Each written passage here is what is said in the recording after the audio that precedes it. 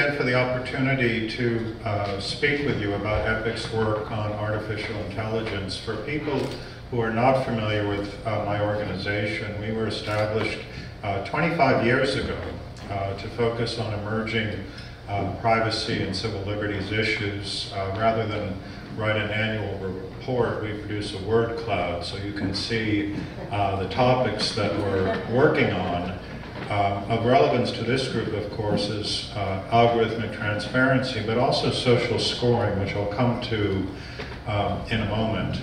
Um, we have been uh, very interested in the AI policy field uh, for a number of years, but I will say partly in, inspired by an article that I read about Governor Dukakis a few years ago calling for an international convention on AI, uh, we stepped up our efforts and we now consider this to be our priority issue.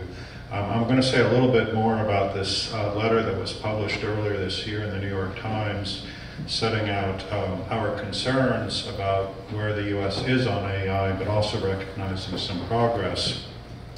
Quickly, and by way of background, one of the first uh, campaigns we had launched was in support of algorithmic transparency, which we viewed as a cornerstone principle to hold uh, AI-based systems uh, accountable. As part of our campaign, we actually produced uh, screen cleaners, which are on the table over here. Our theory was that you could not fix the code if you could not see the code. Uh, that tends to work well in campaigning, as do nice uh, laptop stickers um, some people really like this phrase, Bayesian determinations are not justice. I didn't fully understand it, but I went with them, so those stickers are available as well. Uh, as we were pursuing our um, grassroots efforts in support of human rights protections for AI-based systems, we were simultaneously working with international organizations, including the OECD in Paris, to develop a policy framework for the OECD member nations. Uh, I've served as an expert on a number of OECD uh, frameworks going back more than 25 years. And the OECD had recognized just a few years ago that AI was going to be an increasingly important issue for national governments. Uh, we had a series of meetings with the 36 member countries. Um, they announced in uh, May of this year, um, a set of framework principles that are briefly outlined here.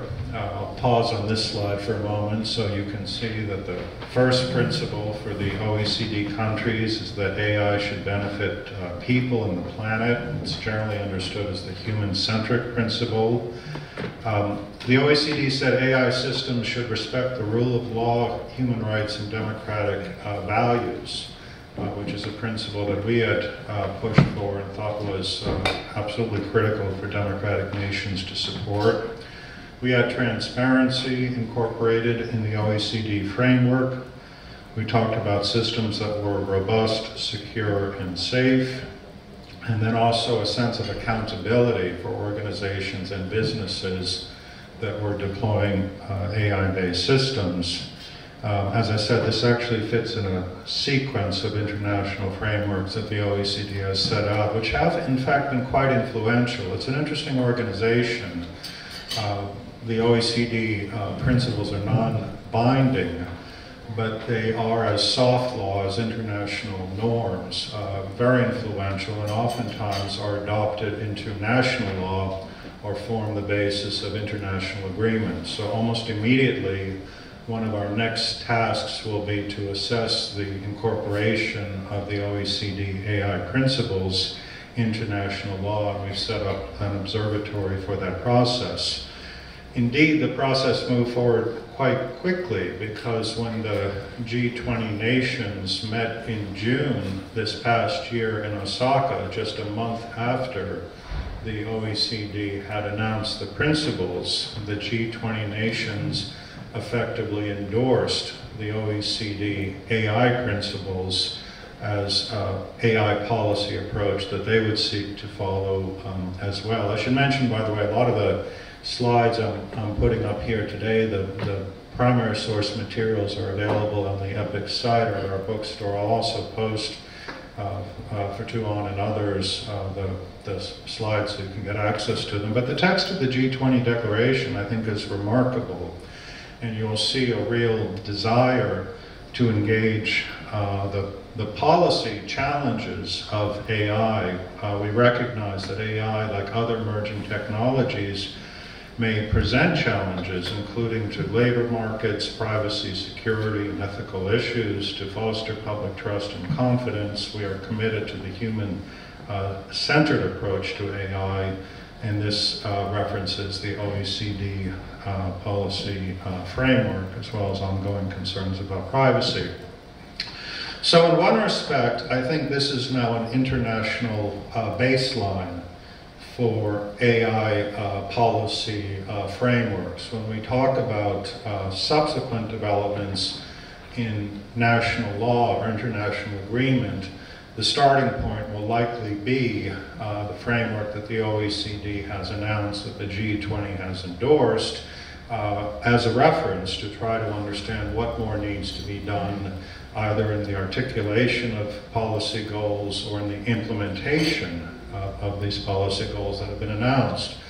But on the one hand, while I should be uh, cheering the outcome, I will tell you frankly that we also felt that the OECD uh, principles are incomplete.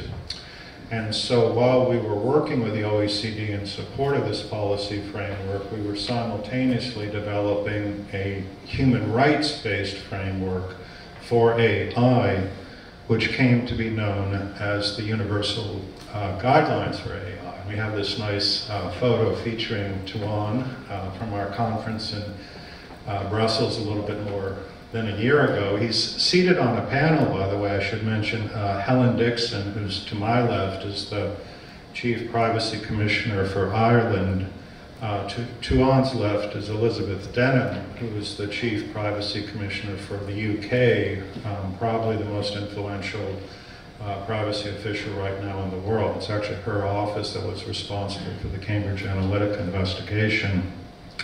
So we've conducted this policy dialogue on the human rights front at a high level, engaging public officials and technical experts and seeking to promote uh, frankly, a broader understanding of the requirements we believe that need to be adopted to safeguard human rights in the AI era.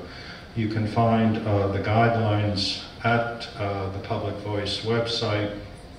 Uh, that's the preamble. And you'll see quite a bit more detail uh, than what the OECD had announced. One of the issues that we actually wrestled with was the notion of the scoring of individuals and we asked the question, do you uh, regulate uh, scoring? Do you prohibit scoring? I mean, we have in the United States many firms that score people on a wide range of activities. Grading is a form of, of scoring, of course. So a prohibition on scoring would seem an odd thing to do. Nonetheless, there was a strong sense in the group that put together this framework that a single score issued by a government regarding its citizens was a form of stigma, almost like a soft criminal sentence. And so we actually announced in this framework a prohibition on what we call unitary scoring.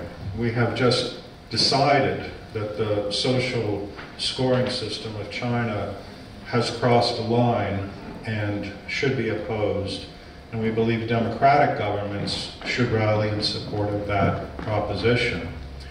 We've also put forward what we call the termination obligation.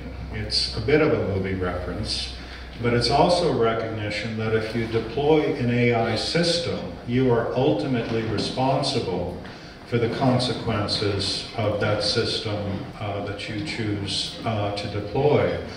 And we have a real concern that in the development of autonomous and semi-autonomous systems, there will be a tendency uh, for governments and for organizations to cede authority and to cede uh, control. And we want to make very clear at this moment in time that you will always remain responsible for systems that you put in place. In fact, the degree of responsibility increases as the complexity and the opacity of the system increases. The work becomes more difficult, but that actually underscores the responsibility to be prepared to act.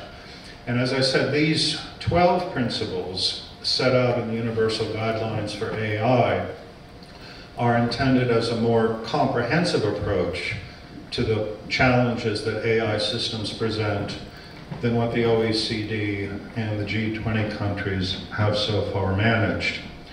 Now, one of the practical challenges in this field, as I'm sure uh, you all are aware, is that there is a, you know, there must be a software app out there titled AI Ethics Policy Framework Maker, because the number of AI ethics and policy frameworks is just growing, you know, daily.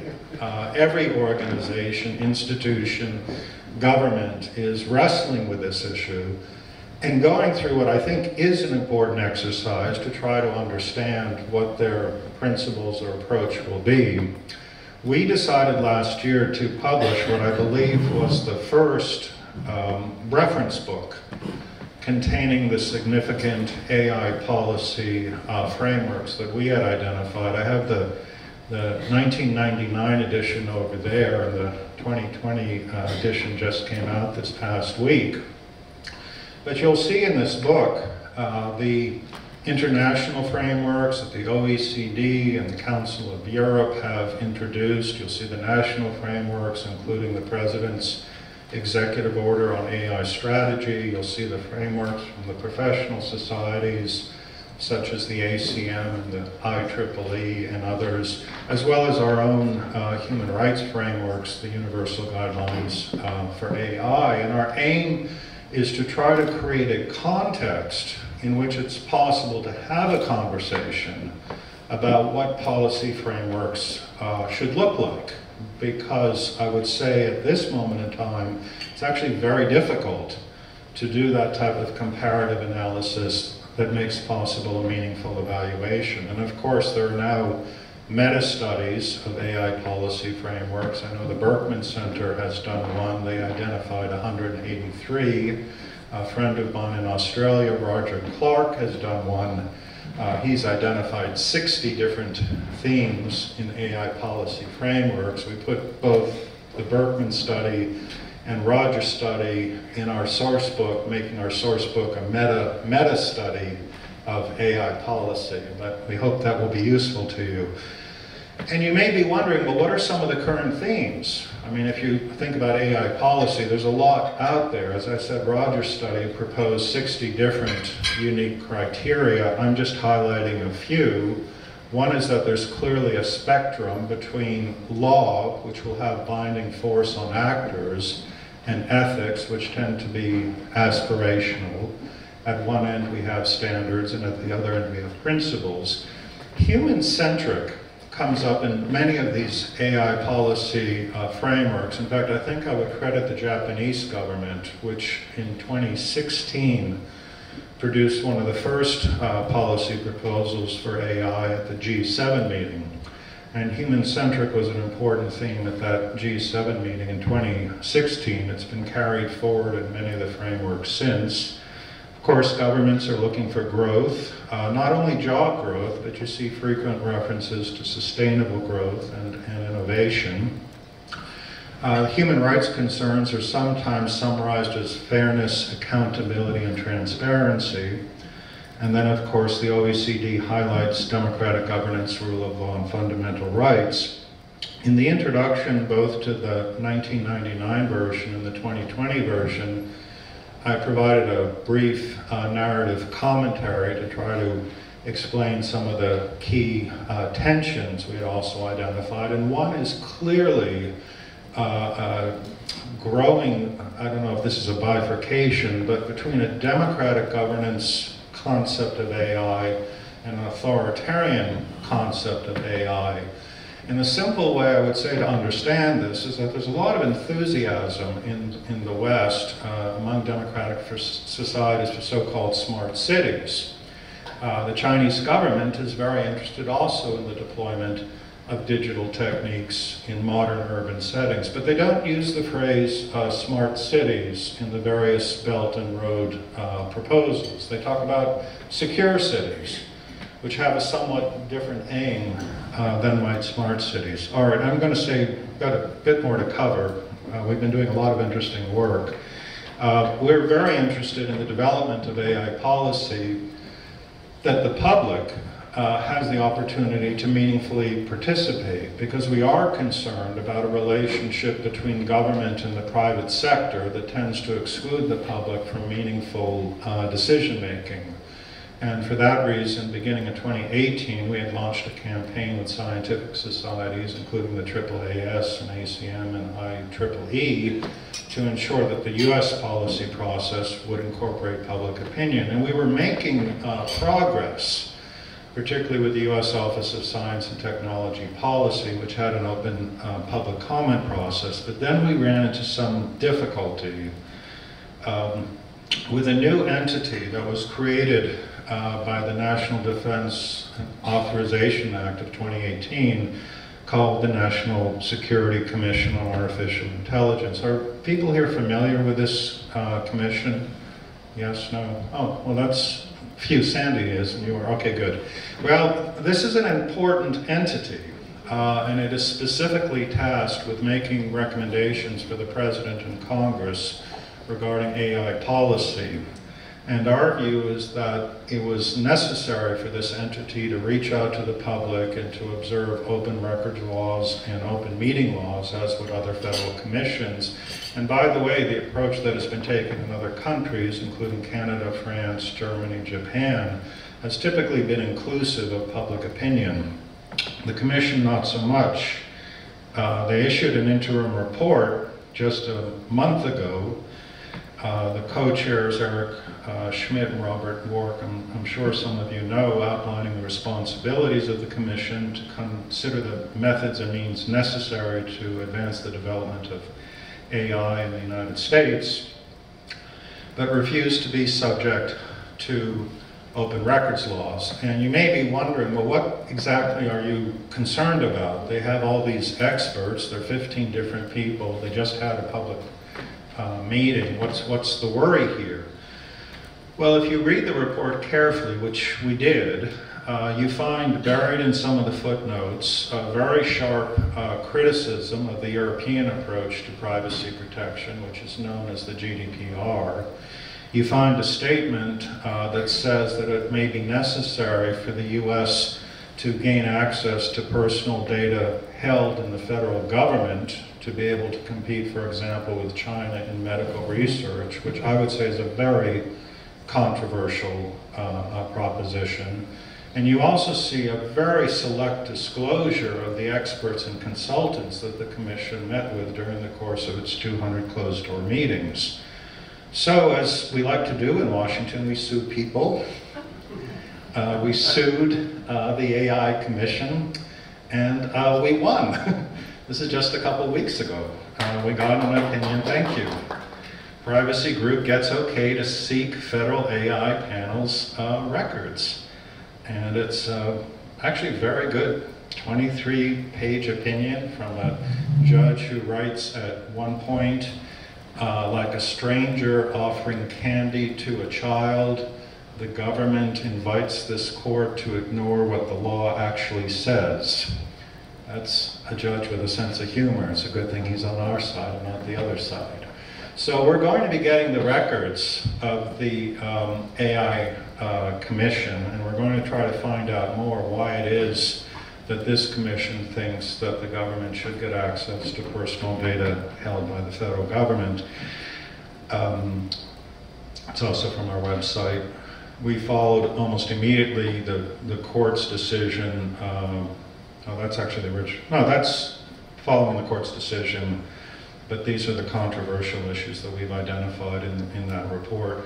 A few more um, items for you just to be aware of. As I said, in Washington, we like to sue people. It's an alternative to exercise, I guess. And um, we brought a complaint to the Federal Trade Commission regarding a firm called HireVue, uh, widely used, uh, I think also by many universities to assess job applicants has a proprietary AI technique uh, that, among other things, uh, does an assessment of a person's facial image to decide whether or not they're qualified to obtain a job. And we raised concerns about that, but as a legal matter, we said this could well be an unfair and deceptive trade practice, and we asked the um, FTC to take a look at it. And a bit of innovative lawyering, we also said to the FTC that you need to consider the OECD AI principles as what are called established public policies, a form of soft law that we want the agency to now take account of as it assesses AI-based business uh, practices. It's kind of neat actually. We sort of created the soft law and then we go to the commission, the agency, and we say now take account of that soft law. And if we succeed, then you have new law that safeguards um, individuals. that particular case actually got a lot of attention. This is Forbes uh, writing about our efforts to learn more about the use of AI in employment screening. We're looking at AI in pretrial risk assessment. We have a series of open government requests to various correctional agencies at the state level that are producing scores for judges to tell the judge this person should get six months and this person should get two years. And the judge says, well, what is the basis of that determination? And the prosecutor says, well, that's a proprietary technique. We actually can't explain that to you, but trust us, it has high predictive value, so you should rely on it.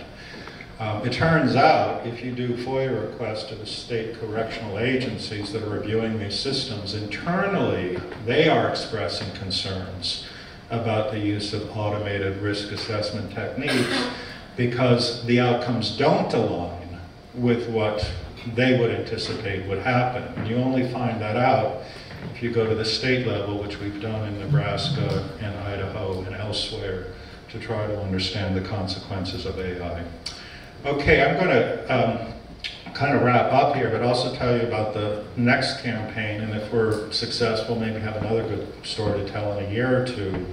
Um, it's become increasingly clear to us that the one area of, of rapid AI deployment that seems to raise the most fundamental human rights concerns is actually uh, face recognition.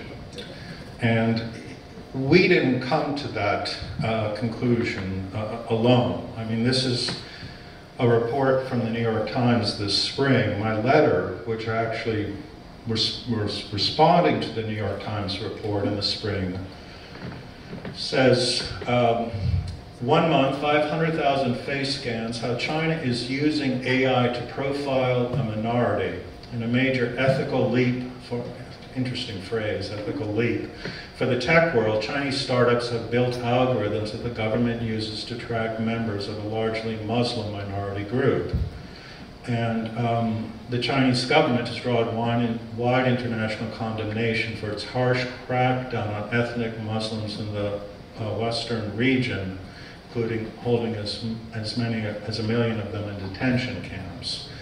What is so troubling about this development is the role that technology is playing in extending control over a minority uh, population. Um, and the economic uh, push behind the firms that are developing these techniques is not incidental.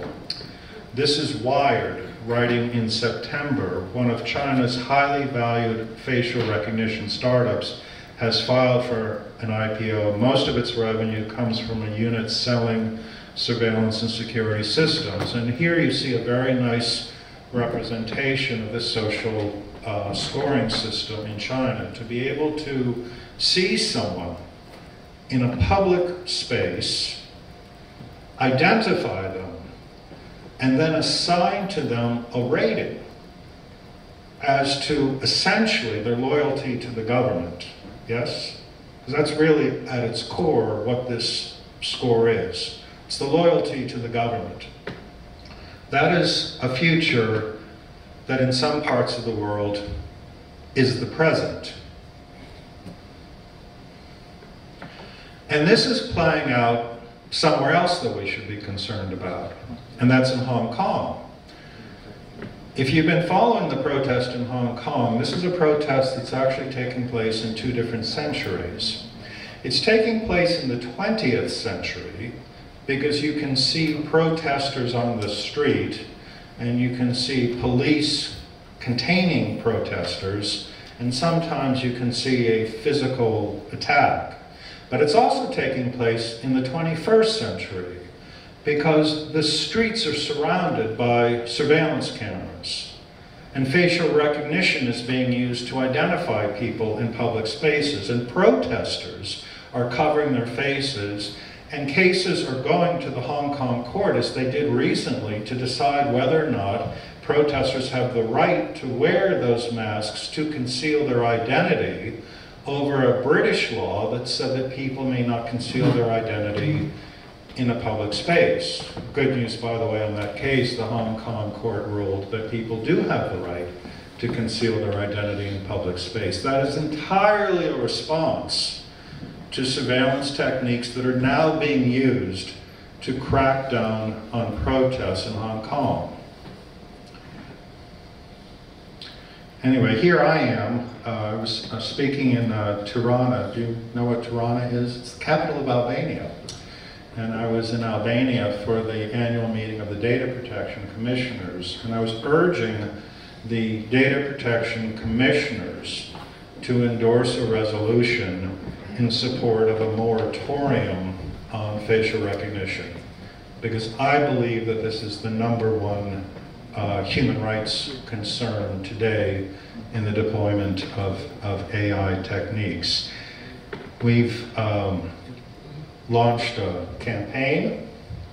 Uh, there's a reference here actually to the Chinese uh, scoring system in the image, because of course it's not simply identification in public spaces that's taking place, it's also an assessment that's taking place of the individual. And I guess when I close my talks, I always like to ask people to do something. So I'm going to close my talk today by saying if you are uh, concerned about this issue, uh, recognizing the full potential of AI for innovation and, and growth and, and research, which I think we all share, but nonetheless are prepared to take action when you see the use of AI that is not favorable to uh, human society, I would ask you to sign our declaration, which is available online. It calls for a moratorium on facial recognition technology for mass surveillance. We have so far about 500 experts around the world, more than 100 organizations in more than 40 countries. And uh, we will, on uh, this site, uh, be tracking developments and keeping you up to date. So uh, thank you very much for your time. And uh, please take some of materials. Marc, could I